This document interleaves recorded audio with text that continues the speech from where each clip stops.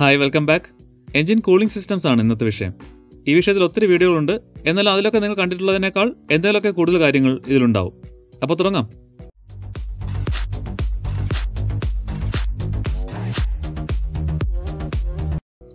ഈ ചാനൽ പല വീഡിയോകളിലായി നമ്മൾ എഞ്ചിൻ വർക്കിങ്ങിന്റെ പല വശങ്ങൾ ചർച്ച ചെയ്തതാണ്.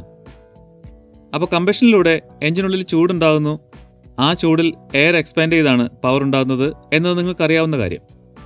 ഈ ഉണ്ടാകുന്ന ചൂടിൽ കുറച്ചൊക്കെ എക്സോസ്റ്റ് ഗ്യാസിൽ കൂടി പുറത്തേക്ക് പോകും. ബാക്കി എഞ്ചിൻ പാർട്സ് അബ്സോർബ് ചെയ്യും. അതായത് piston cylinder cylinder head valves തുടങ്ങിയവ.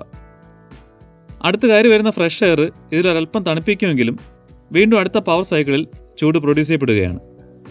അപ്പോൾ ഓരോ പവർ സ്ട്രോക്കിലും ചൂട് കൂടിക്കൂടി വരും. അത് ഓവറായിട്ട് കൂടിയാൽ നോക്കിങ്ങും പ്രീ ഇഗ്നീഷനും എഞ്ചിൻ സീസാകലും ഒക്കെ ഉണ്ടാവുക എന്ന് നമ്മൾ മനസ്സിലാക്കിയതാണ്. അപ്പോൾ ആ ചൂട് പുറത്തേക്ക് കളഞ്ഞേ പറ്റൂ. അതിനാണ് എഞ്ചിൻ കൂളിംഗ് സിസ്റ്റംസ്.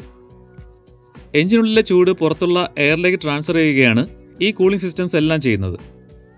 അങ്ങനെ പുറത്തെ എയറിലേക്ക് ഹീറ്റ് ട്രാൻസ്ഫർ ചെയ്യാൻ ബേസിക്കലി രണ്ട് രീതികളാണുള്ളത്. എഞ്ചിൻ സർഫസിൽ നിന്ന് നേരിട്ട് എയറിലേക്ക് ട്രാൻസ്ഫർ ചെയ്യുന്ന എയർ കൂളിങ്ങും വെള്ളം എഞ്ചിനുള്ളിലെ പ്രത്യേക പാസേജുകളിലൂടെ കടത്തിവിട്ടിട്ട് ചൂട് അതിലേക്ക് കൈമാറി പുറത്തെത്തിച്ച് റേഡിയേറ്റർ എന്ന സംഗതിയിലൂടെ എയറിലേക്ക് ട്രാൻസ്ഫർ ചെയ്യുന്ന ലിക്വിഡ് കൂളിങ്ങും. അപ്പോൾ ഓയിൽ കൂളിംഗ് വിട്ടുപോയോ? എന്നാവും നിങ്ങളെ മനസ്സിൽ. ഓയിൽ കൂളിംഗ് ഒരു പ്രധാന കൂളിംഗ് സിസ്റ്റം അല്ല. എയർ കൂളിംഗിന്റെ ഒരു സപ്ലിമെന്ററി സിസ്റ്റം മാത്രമാണത്. ജിക്സർ ടു ഫിഫ്റ്റി വരുന്നത് വരെ. അതിലേക്ക് വരാം. അപ്പോൾ ഈ കൂളിംഗ് സിസ്റ്റംസ് എല്ലാം ഡീറ്റെയിൽ ആയി നോക്കാം. എയർ കൂളിംഗ് ആണ് നമുക്കറിയാവുന്നതുപോലെ ഏറ്റവും ഈസിയും ചീപ്പും ആയിട്ടുള്ള സിസ്റ്റം കാരണം അതിന് പ്രത്യേകിച്ച് ഒരു സിസ്റ്റവും വേണ്ട എന്നത് തന്നെ. ഏതാണ്ട് നാച്ചുറൽ എന്ന് പറയാം. ആകെ വേണ്ടത് ഈ കാണുന്ന ഫിൻസ് ആണ്. ഇതെന്തിനാണെന്ന് അറിയാമോ സിലിണ്ടറിന്റെ സ്ട്രെങ്ത് കൂട്ടാൻ വേണ്ടിയാണെന്ന് കരുതുന്നെങ്കിൽ അതല്ല. ഹീറ്റ് നേരിട്ട് എയറിലേക്ക് ട്രാൻസ്ഫർ ചെയ്യണമെങ്കിൽ കൂടുതൽ എയർ എഞ്ചിന്റെ ചൂട് കൂടുതലുള്ള ഭാഗത്തുകൂടി കോൺടാക്ട് ചെയ്ത് കടന്നു പോകണം. അതിന് കൂടുതൽ ഏരിയ വേണം. പക്ഷേ സിലിണ്ടറും ഹെഡും കമ്പാരിറ്റീവ്ലി ചെറുതാണ്. അപ്പോൾ എയറുമായിട്ട് കോൺടാക്ട് വരാനുള്ള സർഫസ് ഏരിയ കൂട്ടണം. അതിനു വേണ്ടിയാണ് ഈ ഫിൻസ്. ഇതിങ്ങനെ സ്ട്രെയിറ്റ് ആയിട്ടിരുന്നാൽ ഉള്ളതിന്റെ പല ഇരട്ടി സർഫസ് ഏരിയയാണ് ഒരു ഫിന്നുകൊണ്ട് കൊണ്ട് കൂടുന്നത്. വണ്ടി മുന്നോട്ടോടുമ്പോൾ എയർ ഇതിലൂടെ പാസ് ചെയ്ത് ചൂടെടുത്ത് എഞ്ചിൻ തണുപ്പിക്കും. സിംപ്ലിസിറ്റിയാണ് എയർ കൂളിങ്ങിന്റെ ഏറ്റവും വലിയ ഗുണം. ഫിൻസ് അല്ലാതെ മറ്റൊന്നും സാധാരണ സ്ഥിതിയിൽ ആവശ്യമില്ല. പക്ഷെ സ്കൂട്ടറിലൊക്കെ എഞ്ചിൻ ഇങ്ങനെ ബോഡി കവറിങ്ങിന് ഉള്ളിൽ വരുമ്പോൾ നാച്ചുറലായി എയർ കിട്ടില്ല. അപ്പോൾ എയറിനെ അങ്ങോട്ട് ഡയറക്റ്റ് ചെയ്യേണ്ടി വരും. അതായത് ഇതുപോലെ ഒരു ഫാൻ വെച്ച് എയർ പമ്പ് ചെയ്ത് കയറ്റണം. അതിന് ഫോഴ്സ്ഡ് എയർ കൂളിംഗ് എന്ന് പറയും. ക്രാങ്കിൽ നേരിട്ട് ഫിറ്റ് ചെയ്യുന്നതുകൊണ്ട് കറക്കുന്ന എക്സ്ട്രാ എക്യുപ്മെന്റ്സ് ഒന്നും ആവശ്യമില്ല. പക്ഷെ ഒരു പ്ലാസ്റ്റിക് ഡക്റ്റിംഗ് വേണം. എയർ സിലിണ്ടറിന്റെ എല്ലാ ഭാഗത്തുകൂടിയും പാസ് ചെയ്യും എന്ന് ഉറപ്പിക്കാൻ ഇത്തരത്തിലുള്ള ഫോഴ്സ്ഡ് എയർ കൂളിംഗ് ഇല്ലാത്ത നോർമൽ ബൈക്കുകളിൽ നാച്ചുറൽ എയർ ഫ്ലോ മാത്രമാണ് എഞ്ചിൻ ഹീറ്റ് തണുപ്പിക്കാനുള്ള ഏക മാർഗം എന്നതിനാൽ അതൊരു കൃത്യം അളവിൽ നിർത്തുക സാധ്യമല്ല. വലിയ ചേഞ്ചസ് അതിൽ വരും. അതുപോലെ എഞ്ചിൻ വർക്കിംഗ് ടെമ്പറേച്ചർ എന്നൊരു കാര്യമുണ്ടല്ലോ. അതിലേക്ക് എഞ്ചിൻ വാമപ്പ് ആകുന്നതും പതുക്കെയാണ്. വരുന്ന ചൂടൊക്കെ എയർ കൊണ്ടുപോകുമല്ലോ. എഞ്ചിൻ ഓപ്പറേറ്റിംഗ് ടെമ്പറേച്ചർ ആവുന്നവരെ എഞ്ചിനിലേക്ക് കാറ്റടിക്കാതിരിക്കാനുള്ള സംഗതിയൊന്നും പ്രായോഗികമല്ല അപ്പോൾ എഫിഷ്യൻസി കുറയും. കൂടുതൽ ഹീറ്റ് പ്രൊഡ്യൂസ് ചെയ്യുന്ന ഹൈ പെർഫോമൻസ് എഞ്ചിനുകൾക്കും ഈ നാച്ചുറൽ കൂളിംഗ് പോരാതെ വരും. അതുപോലെ മൾട്ടി സിലിണ്ടർ എഞ്ചിനുകളിൽ അകത്തേക്ക് വരുന്ന സിലിണ്ടറുകളുടെ അല്ലെങ്കിൽ ഉള്ളിലേക്ക് വരുന്ന ഭാഗങ്ങളുടെ കൂളിംഗ് ശരിയായി നടക്കില്ല. അങ്ങനെയാണ് വാട്ടർ കൂളിംഗ് അഥവാ ലിക്വിഡ് കൂളിംഗ് യൂസ് ചെയ്തു തുടങ്ങുന്നത്. അതിലേക്ക് വരും മുമ്പ് ഓയിൽ കൂളിംഗ് എക്സ്പ്ലെയിൻ ചെയ്യാം. എയർ കൂളിങ്ങിനും ലിക്വിഡ് കൂളിങ്ങിനും ഇടയിലുള്ള സിസ്റ്റം ആണെന്നൊക്കെ പറയുമെങ്കിലും normal oil cooling system air കൂളിങ്ങിന്റെ ഒരു അസിസ്റ്റന്റ് മാത്രമാണ്. എല്ലാ എഞ്ചിനിലും ഓയിൽ കൂളിങ്ങിന്റെ ഒരു ഭാഗം തന്നെയാണ്. ചൂടിനെ പിസ്റ്റൺ സിലിണ്ടർ സിലിണ്ടർ ഹെഡ് എന്നിവിടങ്ങളിൽ നിന്ന് എഞ്ചിന്റെ ചൂട് കുറഞ്ഞ മറ്റു ഭാഗങ്ങളിലേക്ക് കൊണ്ടുപോയി തണുപ്പിക്കുക എന്ന ജോലി ഓയിൽ ചെയ്യുന്നുണ്ട്. അപ്പോൾ അതിനെ ട്യൂബുകൾ വഴി പുറത്തു കൊണ്ടുവന്ന് റേഡിയേറ്ററിൽ കൂടി കടത്തിവിട്ട് തണുപ്പിക്കുമ്പോൾ അതിന് ആ ജോലി കുറച്ചുകൂടി എഫിഷ്യന്റ് ആയിട്ട് ചെയ്യാൻ പറ്റും. ഓയിൽ പമ്പ് പമ്പ് ചെയ്ത് വിടുന്ന ഓയിലിനെ നേരെ റേഡിയേറ്ററിൽ എത്തിച്ച് തണുപ്പിച്ച് തിരികെ ഫിൽറ്റർ വഴി കടത്തി നോർമൽ രീതിയിൽ ലൂബ്രിക്കേഷന് വേണ്ടി എല്ലാ എഞ്ചിൻ ഭാഗങ്ങളിലും എത്തിക്കുകയാണ്. ഈ റേഡിയേറ്ററിന്റെ ഡിസൈനും വർക്കിങ്ങും കൂടി ഇപ്പോൾ പറയാം. എഞ്ചിനിൽ ഫിൻസ് ചെയ്യുന്ന ജോലിയെ കുറച്ചുകൂടി എഫിഷ്യന്റായി ചെയ്യിക്കാനുള്ള ഒരു മാർഗമാണ് റേഡിയേറ്റർ. റേഡിയേറ്ററിന്റെ ഒരു ഭാഗത്തു നിന്ന് മറ്റേ ഭാഗത്തേക്ക് ഓയിൽ പാസ് ചെയ്യാനുള്ള പതിഞ്ഞ ട്യൂബുകളാണ് ഈ നാലെണ്ണം. അതിൽ നിന്നുള്ള ചൂട് പകരാനുള്ള കനം കുറഞ്ഞ ഫിൻസുകളാണ് ഈ ഇടയിൽ കാണുന്നത്. അലുമിനിയം കൂടി ആയതുകൊണ്ട് ഓയിലിലെ ചൂട് വളരെ പെട്ടെന്ന് തന്നെ ഇതിലേക്ക് എത്തും നേരത്തെ പറഞ്ഞ പോലെ സർഫസ് ഏരിയ വളരെയധികം ഇരട്ടിയായി കൂട്ടും ഈ ചെറിയ നൂറുകണക്കിന് ഫിൻസ്. ഒപ്പം അതിനുള്ളിൽ വീണ്ടും കട്ടിംഗ് കൊടുത്ത് മാക്സിമം ചെറുതാക്കിയിട്ടുണ്ട്. വണ്ടി മുന്നോട്ടോടുമ്പോൾ ഈ ഫിൻസുകളുടെ ഇടയിലൂടെ പാസ് ചെയ്യുന്ന എയർ ഈ ചൂടെടുത്ത് ഇതിനെ തണുപ്പിക്കും. എത്രത്തോളം കൂടുതൽ എയറുമായിട്ട് സമ്പർക്കം വരുമോ അത്രയും കൂടുതൽ ചൂട് എയർ കൊണ്ടുപോകും. അപ്പോൾ ഈ ഓയിൽ ഈ സൈഡിൽ നിന്ന് ഒഴുകി അപ്പുറത്തെത്തുമ്പോൾ വളരെയധികം തണുത്ത് കഴിയും. അതാണ് റേഡിയേറ്ററിന്റെ വർക്കിംഗ് ഓയിൽ ടെമ്പറേച്ചർ ഒത്തിരി കൂടുന്നത് അതിന്റെ ക്വാളിറ്റിയെ ബാധിക്കുമെന്നറിയാലോ താൽക്കാലികമായി ഓയിൽ വിസ്കോസിറ്റി കുറയുന്നതുകൊണ്ടുള്ള പ്രോബ്ലംസും ഓയിലിന് ഓക്സിഡേഷൻ സംഭവിച്ചുകൊണ്ടുള്ള പെർമനന്റ് ഡാമേജുകളും. അതുണ്ടാവാതെ ഓയിലിന്റെ ക്വാളിറ്റി നിലനിർത്തും എന്നത് ഓയിൽ കൂളിങ്ങിന്റെ ഒരു വലിയ ഗുണമാണ്. എയർ കൂളിങ്ങിനൊപ്പം ഓയിൽ കൂളിംഗ് കൂടി ആവുമ്പോൾ കുറച്ചുകൂടി എഫിഷ്യന്റായി ചൂട് വെളിയിൽ കളയാം എന്നതിനാൽ എഞ്ചിൻ പെർഫോമൻസ് അല്പം കൂടി ഉയർത്താൻ സാധിക്കും. കൂടുതൽ പവറിന് വേണ്ടി എഞ്ചിൻ ട്യൂൺ ചെയ്യുമ്പോൾ അത് കൂടുതൽ ചൂടുണ്ടാക്കും. അതാണ് R T R two hundred Pulsar two twenty F C two five Himalayan പോലുള്ള വണ്ടികൾ ചെയ്തിരിക്കുന്നത്. സപ്ലിമെന്ററി അല്ലാതെ വാട്ടർ കൂളിങ്ങിന് പകരമായിട്ട് തന്നെ ഓയിൽ കൂളിംഗ് ഉപയോഗിക്കുന്നത് ജിക്സർ ടു ഫിഫ്റ്റി എഞ്ചിനിൽ മാത്രമായിരിക്കും എന്ന് തോന്നുന്നു. എയർ കൂളിങ്ങിനുള്ള ഫിൻസ് ഇതിലില്ല. സുസുക്കി തന്നെ നല്ലൊരു അനിമേഷൻ വീഡിയോ ചെയ്തിട്ടുണ്ട്. ഈ കൂളിംഗ് സിസ്റ്റം എക്സ്പ്ലെയിൻ ചെയ്യാൻ.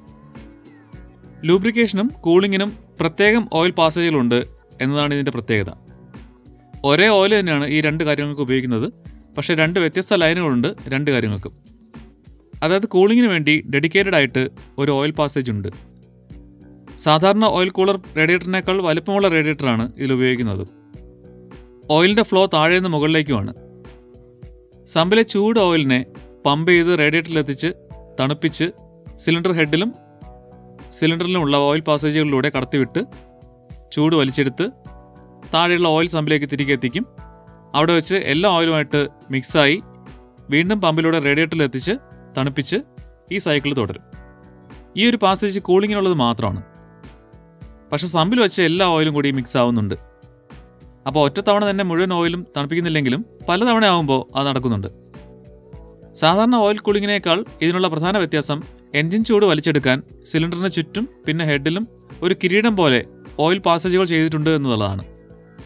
ലിക്വിഡ് കൂളിംഗ് എക്സ്പ്ലെയിൻ ചെയ്യുമ്പോൾ മനസ്സിലാവും അതിന് സമാനമായിട്ടുള്ള രീതിയിലാണ് ഈ ഓയിൽ പാസേജുകളും. പക്ഷെ സെപ്പറേറ്റ് ഒരു ലിക്വിഡ് യൂസ് ചെയ്യുമ്പോഴുള്ള കോംപ്ലിക്കേഷൻസ് ഇതിനില്ല എന്നതുകൊണ്ട് തന്നെ സംഗതി ലിക്വിഡ് കൂളിങ്ങിനെ അപേക്ഷിച്ച് സിമ്പിളാണ് എന്നാലും ഏറ്റവും efficient cooling system liquid cooling തന്നെയാണ്. ഓയിലും ഒരു ലിക്വിഡ് തന്നെയാണെങ്കിലും പ്രത്യേകം ഒരു ലിക്വിഡ് മീഡിയം ഉപയോഗിച്ച് തണുപ്പിക്കുന്നതിനെയാണ് ഇവിടെ ലിക്വിഡ് കൂളിംഗ് എന്നുദ്ദേശിക്കുന്നത്. വെള്ളം തന്നെയാണ് അതിന്റെ മെയിൻ ഇൻഗ്രീഡിയന്റ് പക്ഷേ എഞ്ചിൻ ഭാഗങ്ങൾ കേടുവരാതിരിക്കാൻ മിനറൽസ് നീക്കം ചെയ്ത ഡിസ്റ്റിൽഡ് വാട്ടറിൽ കുറച്ച് കെമിക്കൽസും കൂടി കലർത്തിയാണ് ഇതിനുപയോഗിക്കുന്നത് അപ്പോൾ ഇതിനെ കൂളന്റ് എന്ന് പറയും. ഈ ചേർക്കുന്ന കെമിക്കൽസ് വെള്ളത്തിന്റെ ഫ്രീസിംഗ് പോയിന്റ് അതായത് ഐസ് ആകുന്ന ടെമ്പറേച്ചർ കുറയ്ക്കാനുള്ളതും വെള്ളം നിൽക്കുന്ന എഞ്ചിൻ ഭാഗത്തെ കൊറോഷനിൽ നിന്ന് സംരക്ഷിക്കാനുള്ളതുമാണ്.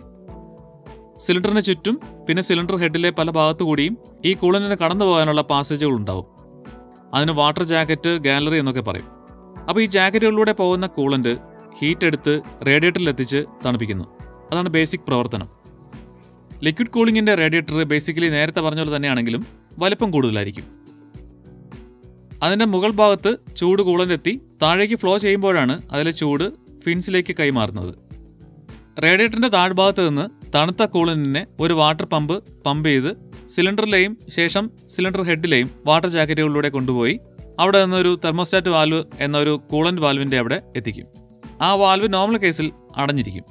അപ്പോൾ കൂളന്റ് റേഡിയേറ്ററിലേക്ക് പോകാതെ ഒരു ബൈപ്പാസ് ലൈൻ വഴി തിരികെ പമ്പിലെത്തി എഞ്ചിനിലേക്ക് കയറി അങ്ങനെ കറങ്ങിക്കൊണ്ടിരിക്കും. എഞ്ചിൻ ഓപ്പറേറ്റിംഗ് ടെമ്പറേച്ചർ ആകുമ്പോഴാണ് തെർമോസ്റ്റാറ്റ് വാൽവ് തുറക്കുക. അപ്പോൾ അതുവരെ ആ ചൂട് അധികം പുറത്തു വിടാതെ എഞ്ചിനിൽ തന്നെ നിലനിർത്തുന്നതുകൊണ്ട് എഞ്ചിൻ പെട്ടെന്ന് തന്നെ ചൂടാവുകയും ഓപ്പറേറ്റിംഗ് ടെമ്പറേച്ചറിലേക്ക് എത്തുകയും ചെയ്യും. എത്ര തണുത്ത കാലാവസ്ഥയിലും. പക്ഷേ എയർ കൂളിങ്ങിന് ഇത് കഴിയില്ല. ഇങ്ങനെ ഒരു കൺട്രോൾ അതിൽ ചെയ്യാൻ പറ്റില്ലല്ലോ. തെർമോസ്റ്റാറ്റ് വാൽവിന്റെ വർക്കിംഗ് അധികം എക്സ്പ്ലെയിൻ ചെയ്യുന്നില്ല ഈ വീഡിയോയിൽ ഒരു നിശ്ചിത ചൂട് കിട്ടുമ്പോൾ ഓപ്പൺ ആകാൻ ഡിസൈൻ ചെയ്തിരിക്കുന്ന ഒരു സംഗതിയാണത്. പ്യുവർ മെക്കാനിക്കലാണ് കക്ഷി. ഒരു വിധത്തിലുള്ള എക്സ്റ്റേണൽ കൺട്രോളും ആവശ്യമില്ല. വാൽവിനുള്ളിലുള്ള മെഴുക് കൂളന്റിലെ ചൂട് കൊണ്ട് ഉരുകി എക്സ്പാൻഡ് ആകുന്നതിലൂടെയാണ് ഈ വാൽവ് ഓപ്പൺ ആകുന്നത് എന്ന് തൽക്കാലം മനസ്സിലാക്കുക. കൂളൻ ടെമ്പറേച്ചർ എൺപത്തഞ്ച് തൊണ്ണൂറ് ഡിഗ്രി സെൽഷ്യസ് ആകുമ്പോൾ അത് ഓപ്പൺ ആയി തുടങ്ങും. ഒരു തൊണ്ണൂറ്റഞ്ച് തൊണ്ണൂറ്റൊമ്പത് ഡിഗ്രി സി ആകുമ്പോൾ അത് ഫുൾ ആവുകയും ചെയ്യും. അത് ഓപ്പൺ ആകുമ്പോൾ ഈ ബൈപ്പാസ് ലൈൻ അടയും. അപ്പോൾ ആ ചൂട് കൂളന്റ് തെർമോസ്റ്റാറ്റ് വാൽവ് കടന്ന് റേഡിയേറ്ററിന്റെ മുകൾ വശത്തേക്ക് എത്തും. അവിടെ നിന്ന് ചെറിയ പാസേജിലൂടെ താഴേക്ക് എത്തുമ്പോൾ അതിലെ ചൂട് റേഡിയേറ്ററിലെ ഫിൻസിലേക്ക് റേഡിയേറ്റ് ആയി അത് അതിനെ പാസ് ചെയ്യുന്ന എയറിലേക്ക് റേഡിയേറ്റ് ചെയ്ത് കൂളനിന്റെ ഹീറ്റ് കുറയ്ക്കും. അത് വീണ്ടും പമ്പ് ചെയ്ത് എഞ്ചിനിലേക്ക് എത്തിക്കും ചൂടെടുത്ത് റേഡിയേറ്ററിൽ തിരിച്ചെത്തും.